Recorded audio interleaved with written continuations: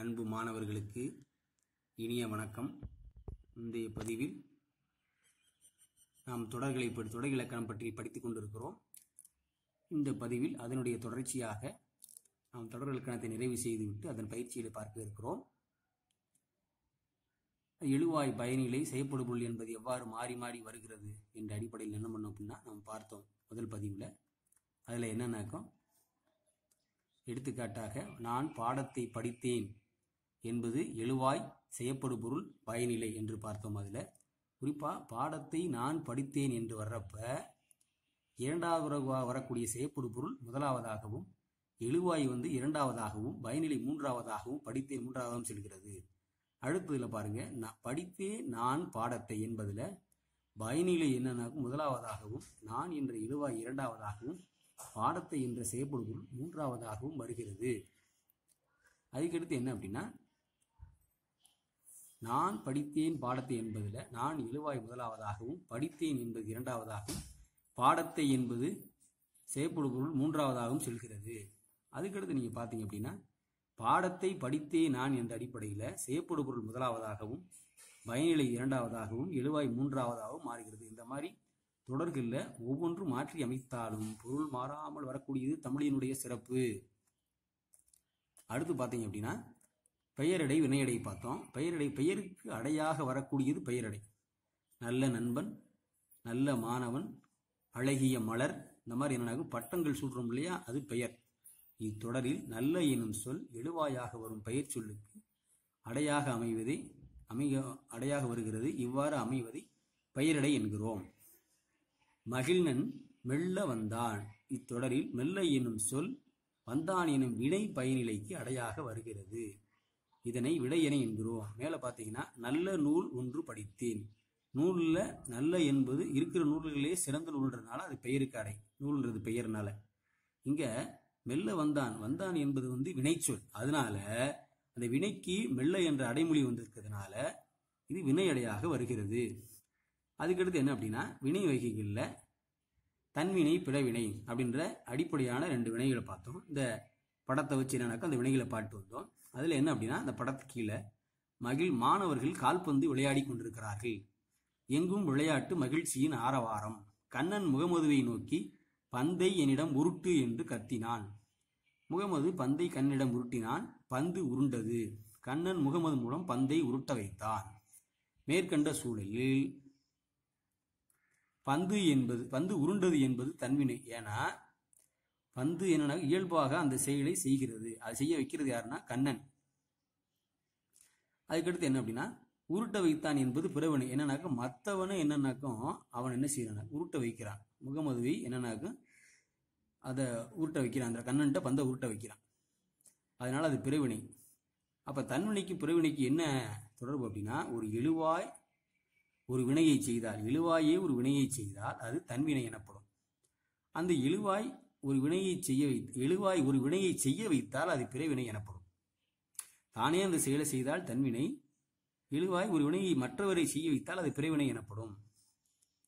நீங்கள் பார்த்தீங்க அப்படின்னா இந்த பிறவினைகள் சேர்க்கிறப்ப பிறவினைகளுக்கு மட்டும் சில விஷயம் இருக்கு. வி பி போன்ற விகுதிகளை கொண்டும் செய் வை பண்ணு போன்ற துணை வினைகளை இணைத்தும் உருவாக்கப்படும். எது? இந்த பிறவினைகள் சொல்லக்கூடியது. சான்றாக தன்வினைகளை பார்த்தீங்கன்னா அவர்கள் அவன் திருந்தினான் என்பது தன்வினை அவர்கள் நன்றாக படித்தனர் என்பது தன்வினை இல்லை என்ன மாற்ற வரும்? அவன் திருந்தச் செய்தான்.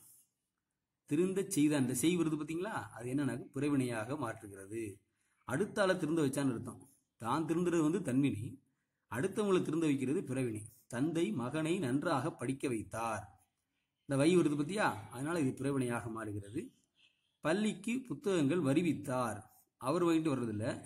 மற்றவர்களை வர வைக்க வர வைக்க வைக்கிறதுனால அவருக்கு பேர் பள்ளிக்கு புத்தகங்களை வருவித்தார் என்ற அடிப்படையில் அந்த வி விருது பத்தியா? அதனால் அது பிரிவினையாகவும் வருகிறது. அப்போ ஒரு எழுவாய் ஒரு வினையை செய்தால் அது தன்வினை எனப்படும். எழுவாய் ஒரு வினையை செய்ய வைத்தால் அது பிறவினை எனப்படும். அதுக்கடுத்து பார்த்தீங்கன்னா இதே மாதிரி இறுதியாக செய்வினை செயற்பாட்டு வினைன்னு இருக்கு. இதில் யாருனாக்கும்? செய்பவரை முதன்மைப்படுத்தும் வினை செய்வினை. இழுவா இருக்கார்ல கருத்தா இருக்கார்ல அவர் செய் அவரை முதன்மைப்படுத்துறதுதான் செய்வினை. ஆனா அதுக்கு அடுத்து இருக்கக்கூடிய செயற்பாடு வினைன்றது செய்யப்படும் பொருளாகி இரண்டாவது வரக்கூடியதை முதன்மைப்படுத்துறதுனால அதற்கு பேர் செய்யப்படும் பொருள் வினை முதன்மைப்படுத்தும் வினை வாக்கியனால அதனால செயற்பாட்டு வினை தொடர்ந்து பார்க்குறோம். முதல்ல பாருங்க அப்பா சொன்னார் குமுதா இலையில் உள்ள இட்லியை விரைந்து சாப்பிடு. அடுத்து தோசை வரப்போகிறது. அவள் சாப்பிட்டு முடிப்பதற்குள் தோசை வைக்கப்பட்டது. அப்ப அப்பா சொன்னா என்பது செய்வினை தொடர். யாரு? அவர் தான் இழுவாய். அவர் தான் கருத்தா. அவரே சொல்றார் அந்த இடத்துல செய்வினை தொடர். சரி அடுத்து செயற்பாட்டு வினை என்னது? தோசை வைக்கப்பட்டது அப்படின்றது செயற்பாட்டு வினை. என்ன அப்படின்னா வை வைக்க படு பட்டதுன்னு முடியணும் அது. செயற்பாட்டு வினையை பொறுத்தளவு. இது போலவே பாட்டு பாடுகிறாள் என்பது செய்வினை தொடர். யாரு? எழுவாயே அந்த செயலை செய்யறப்ப அது செய்வினை தொடராமார் செய்பவரை சிறப்பு செய்வும் செய்வினைன்னு ஒரு படம் அதாவது ஒரு வாக்கியம் இருக்கு. பாட்டு அவளால் பாடப்பட்டது அப்படின்னு பார்க்குறப்ப இங்கே அவளால் என்பது என்ன அப்படின்னா இரண்டாவது வருகிறது அந்த இடத்துல. அப்போ என்ன நடக்கும்? எழுவாயோட வேற்றுமை உறுப்பு அவள் பிளஸ் ஆள் என்ற மூன்றாம் வேற்றுமை உறுப்பு சேர்றப்ப அது படு பாடப்பட்டதுன்னு முடியும். பாட்டு என்ப அந்த செய்யப்படும் பொருள் முதலாவதாக போயிடும் அதனால பாட்டு அவளால் பாடப்பட்டது என்பது செயற்பாட்டு தொடர் சான்றாக படி என்பதை போல என்பதைப் போலவே உன் பெரு முதலான துணைவினைகள் செயற்பாட்டு வினைகளையாக அமைகின்றன. அவற்றைப் போலவே எச்சங்களுடன் சேர்ந்து ஆயிற்று போயிற்று போனது. எச்சங்கள்லாம் முடிவில்லாததோட உன் பெரு முடிவில்லையிலே படுலாம் முடிவில்லை இல்லையா அந்த மாதிரி அவற்றைப் போலவே ஆயிற்று போயிற்று போனது முதலான துணை வினை துணை வினைகள் செயற்பாடு வினைகளை உருவாக்குகின்றன. எடுத்துக்காட்டு கோவலன் கொலை உண்டான் அந்த உன். ஓவியம் குமரனால் வரையப்பட்டது படுபட்டது. வீடு கட்டியாயிற்று. இந்த பூரா மேலே சொன்னதுக்கான எடுத்துக்காட்டு இது சேப்பாட்டு வினைக்கு. சட்டி உடைந்து போயிற்று. அதுவும் சரி சேப்பாட்டு வினைக்கான போயிற்றுன்ற எடுத்துக்காட்டு. பணம் காணாமல் போனது. அதுவும் என்ன அப்படின்னா இன்றைக்கு இருக்கக்கூடிய செயற்பாட்டு வினைக்கான எடுத்துக்காட்டுகளாக பார்க்குறோம். இந்த செயற்பாட்டு வினையில் வர்றப்ப என்ன அப்படின்னா நம்ம செய்வினைக்கான அடுத்த நிகழ்வாக செயற்பாட்டு வினை நிகழ்கிறது. இதில் என்னன்னாக்கும் இந்த தொடர்களில் இறுதியாக என்ன செய்யணும் அப்படின்னா இந்த பயன்பாடு நம்ம பயன்படுத்துகிற தொடர்கள் என்னென்ன பயன்பாட்டு தொடர்னு சொல்கிறோம் அந்த பயன்பாட்டு தொடரில் நம்ம கொஞ்சம் பார்ப்போம் அந்த இடத்துல. எடுத்துக்காட்டுக்கலாம் அதை வச்சு தான் நம்ம பயிற்சி பார்க்க போகிறோம் அப்துல் நேற்று வந்தான் என்பது தன்வினை தொடர். முதலாவதாக அப் நேற்று அப்துல் நேற்று வருவித்தான். அவனை வர வச்சிருக்கான்னு சொல்கிறாங்க இல்லையா? அது அடுத்தாள் செய்தது. அவன் அவன் வந்து அடுத்தாள் செய்கிறது.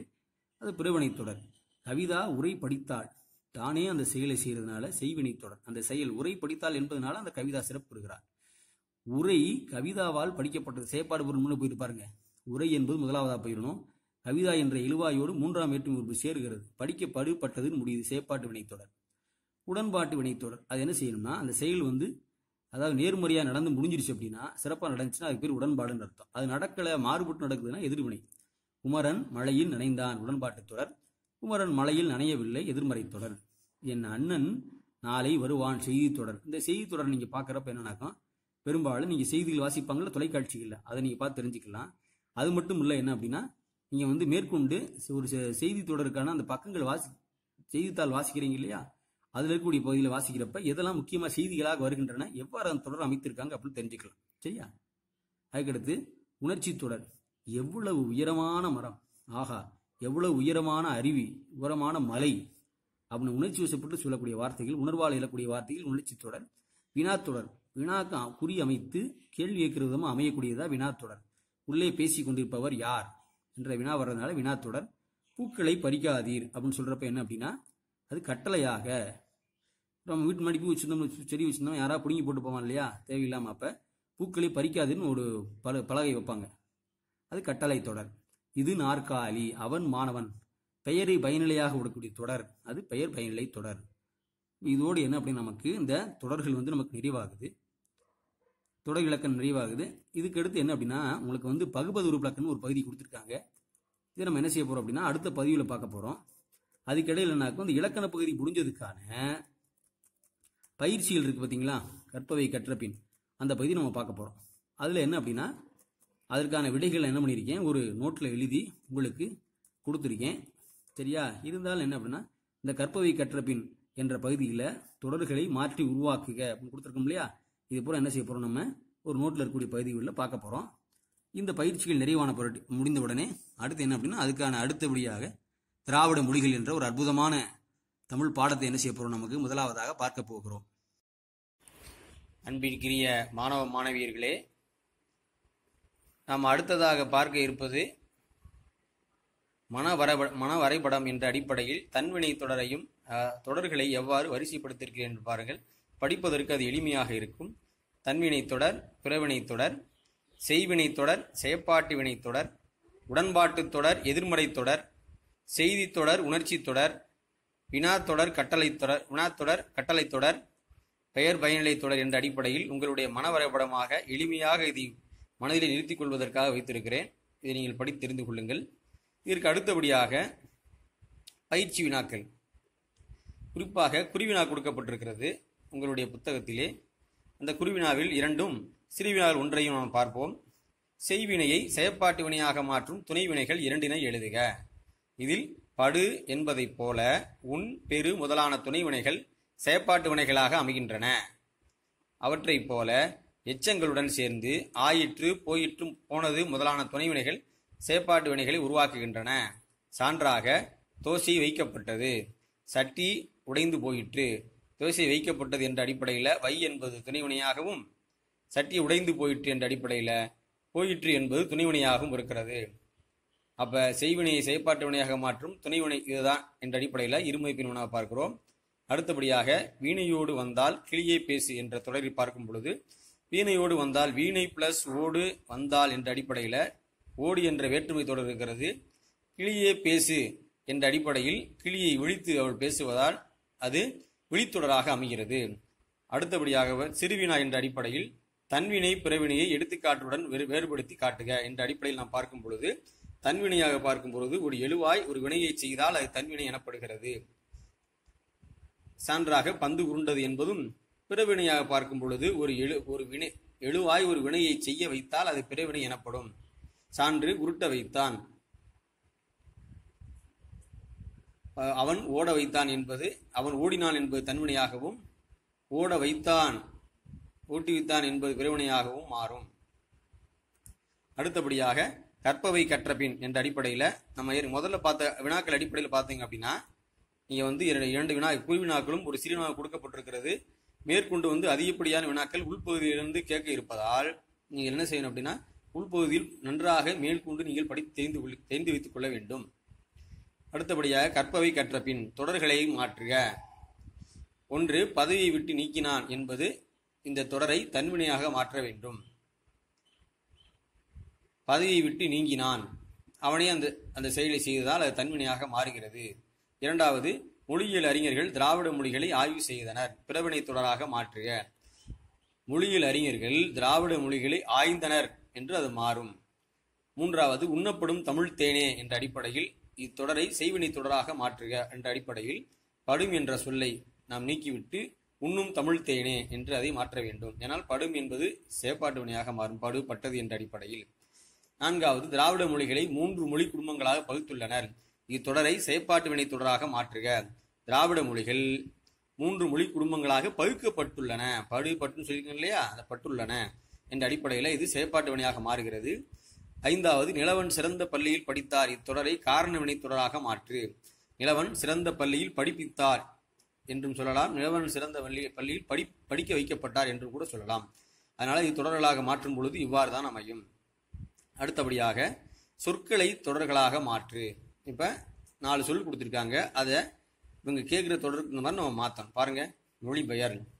தன்வினை பிறவினை தொடர்களாக மாற்று. இந்த மொழிபெயர்ன்ற வார்த்தையை தன்வினையாகவும் பிறவினையாகவும் மாற்றணும். சான்றாக கண்ணன் மொழிபெயர்த்தான். அது தானே செய்கிறதுனால தன்வினை. பிறவினையாக மாற்றப்ப கண்ணன் மொழி பெயர்ப்பித்தான் அப்படின்றப்ப அது பிறவினையாக அடுத்தால் செய்கிறதுனால பிறவினையா மாறும். அதுக்கடுத்து பதிவு செய்தான் பதிவு செய் என்பதை செய்வினை செயற்பாட்டு வினை தொடராக மாற்றணும் முருகன் பதிவு செய்தான் என்பது செய்வினையாகவும் முருகனால் பதிவு செய்யப்பட்டது படுபட்டதுனால செயற்பாட்டு வினையாகவும் மாறுகிறது. மூன்றாவது பயன்படுத்தி என்பது பிறவினையாகவும் காரணவினையாகவும் மாற்ற வேண்டும். வளவன் பயன்படுத்தி வித்தான் அது பிறவினையாக மாறுகிறது. இந்த வி என்ற வார்த்தை வரும் இல்லையா? பயன்படுத்தி வித்தான் அதுக்கடுத்து வளவன் பயன்படுத்தினான் என்பது என்ன அப்படின்னா கார காரண வினையாக மாறுகிறது. நான்காவது இயங்கு என்ற சொல் செய்வினையாகவும் செயற்பாட்டு வினையாகவும் மாறும் பொழுது முருகன் இயங்கினான் என்பது செய்வினையாகவும் முருகனால் இயங்கப்பட்டது என்பது செயற்பாட்டு வினையாகவும் மாறும். ஐயா இது வந்து தொடர் சொற்களை தொடர்களாக மாற்றுன்ற பகுதியில் பார்த்தோம். அடுத்து நம்ம பார்க்குறப்ப என்ன அப்படின்னா பொருத்தமான செயற்படு பொருளை பயன்படுத்தி சொற்களை எழுதுக அப்படின்னு நம்ம பார்க்க போறோம். எப்படி பொருத்தமான சொற்களை பயன்படுத்துறது? நான்கு சொல் வார்த்தை கொடுக்கப்பட்டிருக்கு. தமிழ் இலக்கிய நூல்களை செவ்விலக்கியங்களை நம்மை வாழ்வியல் அறிவை. இது நான்குமே செயப்படு பொருளாக நம்ம மாற்றணும் இந்த தொடருக்கு தகுந்த மாதிரி. ஒன்று தமிழ் டேஸ் கொண்டுள்ளது அப்படின்றப்ப என்ன செய்யணும் அப்படின்னா செவ்வியல் இலக்கியங்களை கொண்டுள்ளது. தமிழ் செவ்வியல் இலக்கியங்களை கொண்டுள்ளது. இரண்டு நாம் டேஸ் வாங்க வேண்டும் என்ற அடிப்படையில் தமிழ் இலக்கிய நூல்களை வாங்க வேண்டும். அது செய்யப்படு பொருளாக மாறுது. புத்தகங்கள் டேஸ் கொடுக்கின்றன. வாழ்வியல் அறிவை கொடுக்கின்றன நமக்கான வாழக்கூடிய வாழ்வியல் அறிவை கொடுக்கின்றன. நான்காவது நல்ல நூல்கள் என்பது நம்மை நல்வழிப்படுத்துகின்றன என்ற அடிப்படையில் இந்த செவ்வியல் இலக்கியங்கள் தமிழ் இலக்கிய நூல்களை வாழ்வியல் அறிவை நம்ம என்ற அடிப்படையில் எழுவாய் பயனிலை என்ற அடிப்படையில் இந்த வார்த்தை அமைக்கப்பட்டிருக்கு. இங்கே செய்யப்படு பொருள் இல்லை. இந்த மூ இரண்டாவதாக அமையக்கூடிய செய்யப்படு பொருளாக இந்த வரிசை அமையும். சரிங்களா? அடுத்து பொருத்தமான பெயர் அடைகள். நம்ம சொன்னோம் இல்லையா? இந்த பெயர் அடைகள்னு சொல்றப்ப என்ன பெயருக்கு அடையாக வரக்கூடியது. சரியா? அப்படின்றப்ப இந்த வணக்கம் நண்பன் ஓவியம் விலங்கு என்ற அந்த பெயர்களுக்கு எப்படி அடையா வருதுன்னு பாருங்க. நல்ல பெரிய இனிய குடி என்ற நாலு சொற்கள் கொடுக்கப்பட்டிருக்கு. இந்த நாலு சொற்களை பொறுத்தளவு எல்லோருக்கும் இனிய வணக்கம். முதல்ல வரக்கூடிய அடையா தான் இனிய என்ற அடை பெயரடை அவன் நல்ல நண்பனாக இருக்கிறான். நல்ல நண்பன் என்பது பெயரடை பெரிய ஓவியமாக வரைந்து பழகு. பெரிய ஓவியம் என் பெரியன்றது அங்கு பெயரடையாக இருக்கிறது. ஓவியத்திற்கு அதுக்கடுத்து கொடிய விலங்கிடம் பழகாதே. கொடிய என்பது பெயரடையாக இருக்கிறது. விலங்கு என்பது பெயராக இருக்கிறது. இந்த நான்கு அடிப்படையில் நம்ம பார்த்தோம். எல்லோருக்கும் இனிய வணக்கம். அவன் நல்ல நண்பனாக இருக்கிறான். பெரிய ஓவியமாக வரைந்து பழகு வரைந்து வா. கொடிய விலங்கிடம் பழகாதே. அதுக்கடுத்து நீங்க பாத்தீங்கன்னா பொருத்தமான வினையடைகளை தேர்வு செய்க. பெயருக்கு பார்த்தோம்ல பெயரடை மாதிரி வினையடை. நான்கு இருக்கு பாருங்க. அழகாக பொதுவாக வேகமாக மெதுவாக. இந்த நான்கு என்ன செய்யணும்? இந்த சென்றது ஓடுகிறது காட்டுகிறது காட்டுக. இதுக்கான அடையா பார்க்க போறோம். பாருங்க ஊர்தி மெதுவாக சென்றது. காலம் வேகமாக ஓடுகிறது. சங்க இலக்கியங்கள் இலக்கியம் வாழ்க்கையை பொதுவாக காட்டுகிறது. இணையதளத்திலிருந்து பதிவிறக்கம் செய்யப்பட்டதை அனைவரும் பொதுவா அனைவருக்கும் பொதுவாக காட்டு. அடுத்தது அடைப்பு குறிக்குள் உள்ள கேட்டுள்ளவாறு சொற்களை கேட்டுள்ளவாறு தொடர்களாக மாற்றி எழுதுக. அடுத்தது நம் முன்னோர்கள் ஒன்று நம் முன்னோர்கள் இயற்கையோடு இயைந்த வாழ்க்கை நடத்தினர். இதை வினா வினா தொடராக மாற்றணும். மாற்றப்ப நம் முன்னோர்கள் எதனோடு இயந்த வாழ்க்கை நடத்தினர் என்று அமையும். இரண்டாவது பாடினான் என்ற தொடரை எழுவாய் தொடராக மாற்றப்ப அறிவழகன் பாடினான். எழுவாய்க்கெடு தொடர்களே இல்லையா? எழுவாய் தொடர்.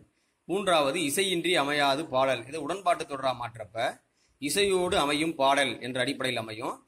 நான்காவது நீ இதை செய் என்று கூறினேன் அல்லவா? கட்டளை தொடரா மாற்றப்ப நீ இதை செய் என்று என்ன செய்யும் அப்படின்னா கட்டளை தொடராக மாறும். அப்ப நம் முன்னோர் எதனோடு இயற்கை வாழ்வை நடத்தினர்? அறிவழகன் பாடினான் இசையோடு அமையும் பாடல் இதை செய் என்பது என்ன நடக்கும்?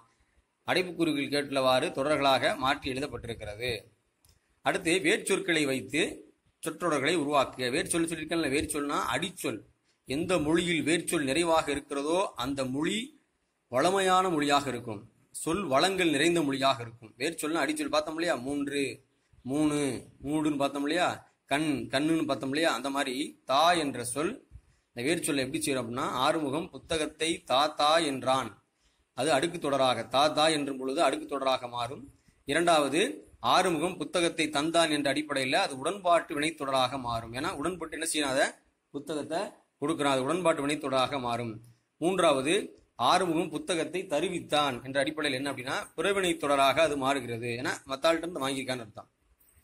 கேள் இந்த இரண்டாவதுல பாரி கேட்டான். பாரி கேட்டான் என்பது இழுவாய் தொடராகவும் கேட்டான் பாரி என்பது வினைமுற்று தொடர். கேட்டலாகிய வினைக்கு அடுத்து முற்றுக்கெடுத்து தொடர் அமைஞ்சிருக்கிறதுனால வினைமுற்று தொடர். கேட்டது பாரியா? அப்படியா கேட்டான் என்ற அடிப்படையில் வினா தொடராக மாறும். கொடு என்ற அடிப்படையில் வள்ளி எழுதுகோலை கொண்டு எழுதித்தாள் என்பது செய்தி தொடராகவும் பள்ளி எழுதுகோலை கொடு என்பது கட்டளை தொடராகவும் மாறும். நான்காவது பார் என்ற அடிப்படையில் புகழேந்தி படம் பார்த்தான் செய்வினை தொடராகவும் புகழேந்தியால் படம் பார்க்கப்பட்டது என்ற அடிப்படையில் சேப்பாட்டு வினை தொடராகவும் அமையும். புகழேந்தி படம் பார்க்க செய்தான் என்ற அடிப்படையில் அது பிறவினையாக மாறும். பார்க்க செய்தான் என்ற புனைவையாகவும் படம் பார்க்கப்பட்டது சேப்பாட்டு வினையாகவும் படம் பார்த்தான் என்பது என்ன அப்படின்னா செய்வினையாகவும் மாறும். இறுதியாக தமிழ் எண்களில் எழுதுக என்ற அடிப்படையில் நம்ம ஏற்கனவே பார்த்துருப்போம். அதில் பதிமூன்று என்ற அடிப்படை பார்த்து பதிமூன்று என்ற எண் எப்படி எழுதப்பட்டிருக்குன்னு பாருங்க. பனிரெண்டு என்ற எண் எப்படி எழுதப்பட்டிருக்கு? பதிமூன்று எப்படி எழுதப்பட்டிருக்கு?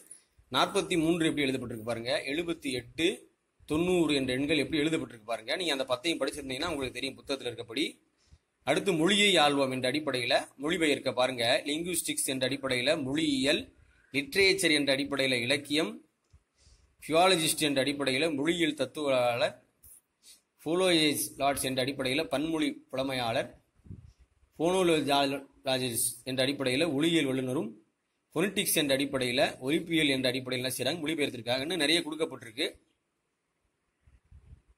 உங்கள் பாட புத்தகங்களை பொறுத்தளவு மார்ஃபோம் என்பது உருபனாகவும் கலைச்சுழறிவும் பகுதியில் ஃபோன்மி என்பது ஒளியனாகவும் கம்பேரிட்டிவ் லிட்ரேச்சர் என்பது ஒப்பிலக்கணமாகவும் கொடுக்கப்பட்டிருக்கிறது. லெக்சிகன் என்பது பேரகரியா பேரகராதியாகவும் கொடுக்கப்பட்டிருக்கிறது. அதுக்கடுத்து என்ன அப்படின்னா அடைப்புக்குள் உள்ள சொற்களை கொண்டு கோடிட்ட இடங்களை பொருத்தமான வினைமுற்றாக மாற்று. ஒன்று இந்திய மொழிகளின் மூலமும் வேறுமாக தமிழ் திகழ்கிறது இல்லையா அது திகழ்கின்றது வேர்ச்சொல் எப்படி மாத்தணும்? வினைமுற்றா மாறுறப்ப திகழ்கிறது. அன்றைக்கும் இன்றைக்கும் திகழ்ந்து கொண்டிருக்கிறது வினைமுற்றாகிறது. சரி. வைதேகி நாளை நடைபெறும் கவியரங்கில் கலந்து கொள். அப்படின்ற இடத்துல இந்த சொல்ல என்ன செய்யணும் வினை முற்றா மறப்ப கலந்து கொள்வாள். ஏன்னா நாளை நடைபெறும். கலந்து கொண்டாலும் வரக்கூடாது. நாளை நடைபெறுவதுனால என்னன்னாக்கும் கலந்து கொள்வாள் என்ற அடிப்படையில் வரணும். உலகில் மூவாயிரம் மொழிகள் பேசுன்ற அடிப்படையில் பேசுகிறார்கள். இந்த அடிப்படையில் தான் சரி. குழந்தைகள் அனைவரும் சுற்றுலா செல் என்பது சென்றனர் என்ற அடிப்படையில் வர வேண்டும். அப்பொழுதுதான் வினை முற்றாக இருக்கும். தவறுகளை திருத்து என்ற அடிப்படையில் என்ன செய்யணும்னா திருத்திக் கொள். என்ற அடிப்படையில் இந்த தொடர் மாறும். அடைப்புக்குள் உள்ள சொற்களை கொண்ட கோடிட்ட இடங்களில் பொருத்தி வினைமுற்றாக மாற்றி எழுதுக. திகழ் என்பது திகழ்கிறது என்றும் கலந்து கொள் என்பது கலந்து கொள்வாள் என்றும் பேசி என்பது பேசுகிறார்கள் என்றும் செல் என்பது சென்றனர் என்றும் திருந்து என்பது என்னென்ன திருத்தி என்பது திருத்திக் கொள் என்ற அடிப்படையிலும் மாறும். ஆக இது வரைக்கும் நம்ம என்ன பண்ணியிருக்கோம்னா பயிற்சி பகுதியில் பார்த்து நிறைவு செஞ்சுட்டோம். அதாவது இலக்கண பயிற்சி பகுதிகளை. அடுத்து என்ன அப்படின்னா இனிமையாக உங்களோடு சேர்ந்து திராவிட மொழிகள் என்ற பாடத்தில் நம்முடைய மொழியையும் பண்பாட்டையும் வரலாற்றையும் பாரம்பரியத்தையும் வளமையையும் பற்றி மற்ற மொழிகளோடு ஒப்பிட்டு நாம் அறிந்து கொள்ளும் பொழுது நம் மொழி எவ்வாறு சிறப்பிடம் பெறுகிறது என்பது என்ன செய்ய போகிறோம் அப்படின்னா நம்ம தொடர்ச்சியாக பார்க்க போகிறோம் உங்களோடு சேர்ந்து நானும் அந்த மொழியில் பயணிக்க இருக்கிறேன். வாருங்கள் அனைவரும் சேர்ந்து பயணிப்போம்.